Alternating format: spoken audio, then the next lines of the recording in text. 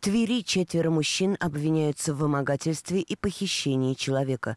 Первым отделом по расследованию особо важных дел о преступлениях против личности и общественной безопасности Следственного управления Следственного комитета Российской Федерации по Тверской области расследуется уголовное дело в отношении четырех жителей города Твери в зависимости от роли каждого, обвиняемых в совершении вымогательства денежных средств и похищения человека с применением предметов, используемых в качестве оружия. Ранее суд удовлетворил ходатайство следователя Следственного комитета и избрал в отношении фигурантов меру пресечения в виде заключения под стражу. Фигурантов задерживали при участии бойцов СОБР Росгвардии. Ваша фамилия, имя, отчество?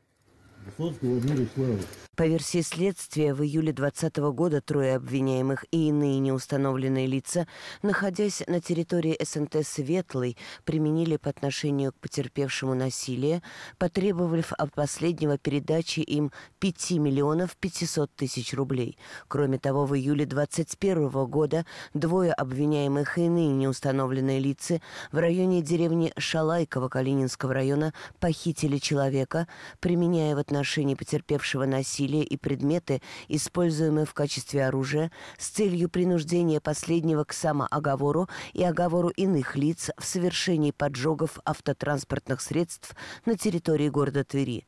Потерпевшему удалось убежать от похитителей и скрыться. Посмотрите внимательно. Если вы пострадали от преступных действий этих людей, либо владеете информацией об их противоправной деятельности, срочно обратитесь в первый отдел по расследованию особо важных дел регионального следственного комитета, город Тверь, улица Вакжанова, 15. Внимание! С 17 апреля по 1 мая в Волжской межрегиональной природоохранной прокуратурой проводится горячая линия по вопросам исполнения законодательства об охране и использовании лесов.